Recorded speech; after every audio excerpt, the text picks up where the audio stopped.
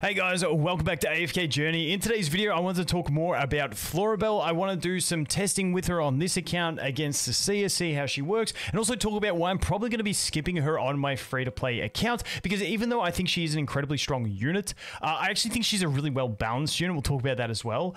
Um, but even though she's a strong unit in my opinion, I just think when we're looking to free to play accounts, especially mine specifically, one, I don't have the summons to put in. I've only got 5,000 diamonds. It's not worth it to just go chasing a couple copies, in my opinion. I'd rather save, wait for the next character that I think absolutely breaks the meta and go for them. Hey, maybe we find some crazy thing out about Florabelle in the next few days and then she becomes that unit. But at the moment, I'd rather just save. Also, I feel like she does compete heavily with Cecilia for the same position. I feel like they both basically fill the same role really well. Now, they do have the synergy to together once she gets to Mythic Plus. Honestly, they're actually pretty synergistic prior to Mythic Plus as well, just due to the way they can control a battlefield when they both get their ults off, depending on how much incoming pressure is from the enemy team. And we'll do some testing with that and show you guys what I'm talking about in a minute. But like I said, because I do already have that Mythic Plus Cecilia and I'm out of currency, I just think going for her on my free-to-play account isn't the wisest decision. It's a bit of over-investment into that account. Now, that account, I am going to save diamonds. I'm done spending them on the standard banner, and I'm going to wait for a unit that maybe I can get to maybe Mythic Plus of Pities, and that's when I'll decide to go for a unit, or if I see them think there's a game-breaking unit, that's when I will summon. But at the moment, I think I'm going to skip her on my, my free-to-play account, like I said, even though she is a decent unit. Now, let's quickly talk about how viable I think she is. Once again, this is only after like half a day of testing, so take this with a grain of salt, but I like updating you guys on my thoughts. Now, I think she is a top tier uh, campaign slash AFK stage pushing unit. I think she's fantastic for it. She's very similar to Cecilia. Like I said, they fill that similar role. You could run either of these two in the comp of Smokey Antandra, Coco, and Rowan and do perfectly well. They both work super well. In general, I feel like Florabelle has higher damage output, but Cecilia has wider control on that first ultimate, which can often be clutch. So in different situations, they're going to be better, but you can also still run them together in this team that I have up the top, drop the Rowan and bring the second DPS, and provided you can survive survive until them both getting their ult, you do start to snowball the field and actually do pretty well. Just depends on enemy teams. So campaign and AFK stage pushing, I think she's absolutely fantastic. Uh, for bossing, I think she's okay. I she has better from when I tested her on whale accounts, maxed out versus maxed out Cecilia. She has higher raw damage output. Now, I think she she's not. I don't think she's going to be meta in all the bosses, but there is one that I'm waiting to see, which is the Snow Stomper, because she has three summoned units. I feel like in Snow Stomper, those three summoned units might help you burst down the ice so fast that maybe it increases damage output and she becomes a meta unit in that boss. We will have to wait and see, but that's where I think her main bossing chance stands. For battle drills in guilds, I think she's going to be absolutely amazing for that. I think she's going to be a huge unit all round uh, in there. She's so versatile for that type of thing. I think she's going to be great in that. Um, and then when we look to uh, PvP, I think she's going to be great early game kind of like Cecilia, very, very similar unit. But uh, when we look to the end game, I don't think she's going to have the speed to keep up with the Iron comps at the moment. And that's the way I see her. Like I said, I think she's a really good all-round unit, but because she's so close to the, the role that Cecilia fills, and I already have a Mythic Plus Cecilia, I'm going to leave her on my main account. But let's jump over in this one and let's do some testing and show you guys kind of where we're at in this one. So Let's just jump into this one and try. You can see we're, we're, we're, at a little bit of a deficit. It's not crazy deficit. I haven't pushed this uh, account for hours trying to get to max deficit. This is just some testing stuff. So you can see here, um, we're running that comp, but we're running the double DPS. Now, I don't know if we're going to survive against this because there's a lot of pressure on this team. Also, we have the RNG of Roots to see how we go. But in general, she can fill the front row spot alongside the Antandra pretty decently. You just try and make Antandra take the three enemies that attacking uh, and make her take the two. And it normally works decently well because she's a warrior. She has those tankier stats and she sits in the front row better than a Cecilia. Like I said, the other option is to go with a team like this um, and slot it like that. And you got the more survivability, but less damage. But we're going to go ahead and we're going to test this until this doesn't work. And then we'll go ahead and swap it over. So let's go ahead and check this out. So let's jump into the battle. Let's see how it goes. Uh, so we got we get we got the healing coming. Is she gonna die straight up? No, she does get healed up. The ultimate comes. Okay, she gets tapped by that ultimate, unfortunately. But we still do have Cecilia here who can actually clutch the battle. We are controlled, but we do have the buff up, and we might be all right in this one. Okay, so we, we are gonna actually survive through it because we got the CC chain happening anyway, even though she did die. So let's jump into a few more stages and take a look. I can't really compare their damage because she died too soon, uh, but often I do see that when I run both both of them that she does have a little bit more damage. And this is another one of those awkward stages. Let's see how this one goes. Um, hopefully we can live. They're not actually throwing too hard. Oh, yeah, this is a six stage, so this is going to be fairly easy.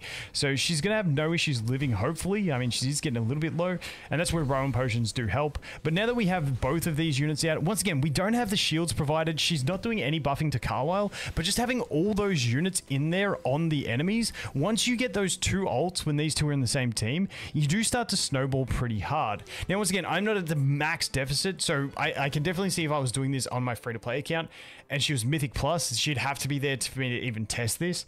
Um, but yeah, I, I can see that wouldn't be as effective and we'd probably have to go with the Rowan. But let's just keep testing a few things here. So let's go in and see how it goes.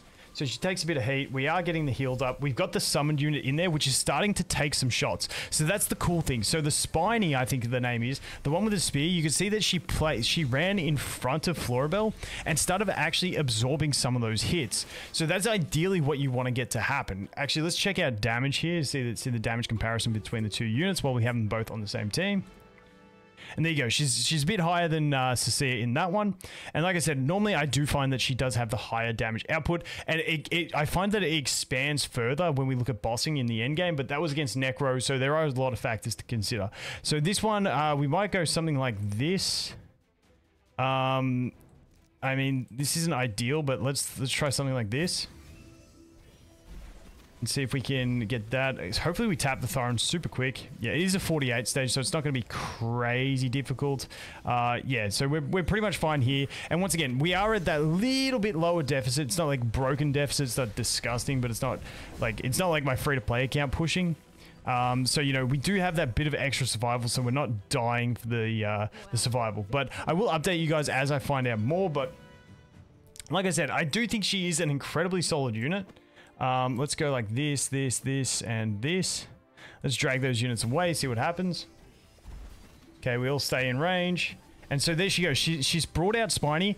And look at Spiny. Oh, no, that's a healer unit. So I was going to say, watch Spiny do take some damage. But there you go. You can see you can see Spiny, I think it's Spiny, starting to take some damage in the corner there, uh, which is good, which is what you want because you want those summoned units to be able to absorb and mitigate uh, a little bit of damage for you. Now, it's going to be unfair once we get our next ultimate with Smokey because he does start dealing damage, but you guys get the gist of what's going on here. Let's jump in. Let's do 350 and see how 350 goes. Uh, and we'll see how we go from there. So let's check the damage as well, actually. Dude, Igor is just... Igor is just stupid. Just a stupid unit. Right, let's go, let's go. Clean it up, clean it up. Dude, he, he just it stalls for days. Oh, just painful. Alright, let's take a look, let's take a look. Ooh, we actually had Cecilia out damaging that one. Okay, interesting. Doesn't normally happen like that. So here we go, 350. Let's take a look. Uh, this formation should be pretty fine. A lot of pressure coming out of this team, so let's see how we... Oh, wait, we got taunted. Yeah, we, are going to wipe here. Got to put Smokey in the back corner. Uh, we did get... He's going to get taunted again, which is going to kill us. Unfortunately, Antandra's down, but here we go. We start getting the summons out, and that becomes super clutch because now they can take some hits. Unfortunately, we do have AoEs coming out from these enemies. Uh, so she is down now. We still have Cecilia alive. Can we see Smokey this? Uh, maybe? Because Rowan's in, in range? Yeah, we got this. We got this. Okay. Okay. Nice. Nice. That was clutch. You know what? I'm gonna I'm gonna restart it anyway, uh, because I want to see uh, if we can get some synergy happening with these two. So let's do it like this. So this should be fine because this way we still heal everyone, uh, but Smokey doesn't get taunted. So then we can keep the heals rolling and hopefully keep them both alive. There comes the taunt. Here comes the extra heal. Now we're about to do the summon. Uh, we'll slow Coco down. We'll get the Cecilia ult first. Uh, there it is. And then we'll put Coco on.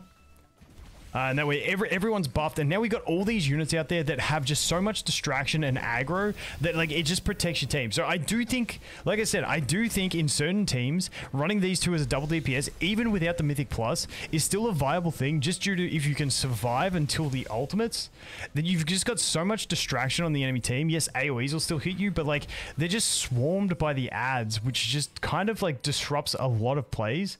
Uh, but once again, once we push into higher deficits, I think you're going to die to the burst too quickly, um, and that's going to be an issue. But uh, but yeah, that's sort of where I'm looking at. Like I said, the other team you can use is going to be something like this, where we go ahead and we slap the Rowan in there. And against this kind of team, because we have... Oh, that's not the laser one. Okay. I thought it was the laser one. I always panic about the laser one that shoots the big lasers. Because if you bring the Rowan with the Smokey against the lasers, you can normally just withstand the lasers. Uh, so that's why I was doing that. But it's not the laser one. But once again, this kind of team works perfectly with us as well. Once again, Coco just being super clutch, putting that buff on everyone, including the summons. It just makes it it just makes it so much better. So here we go, boom, we get the big damage up, we get the knock up, and away we go. And she's just pretty synergistic. Now, obviously, this is 351, so it's a bit of an easier stage. Once again, once we get our third ult, Smokey just starts dominating, which is a bit unfair, but it is what it is. But that's a basic look around her at the moment. Like I said, I think by no means is she a bad unit. I think she is a very strong unit. I think she's one of the top tier damage dealing units for pushing campaign and AFK stages, but she's not, doesn't feel as strong in bossing. Once again, could be good in Stomp um, and then for Arena, great early game, struggles a bit late game, in my opinion. Uh, and then I think for Battle Drill, she's going to be fantastic. So overall, as a unit, I think she's absolutely fantastic. But once again, because as free to play, especially on my free to play account, you've got limited resources. You kind of got to balance out your account.